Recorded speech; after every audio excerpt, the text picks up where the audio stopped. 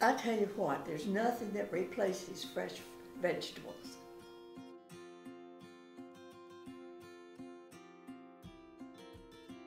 I like going to Market Square, that just, uh, I can just remember going down there maybe a few times, probably in later life even. But it was there, and that's where everybody went to buy fresh vegetables.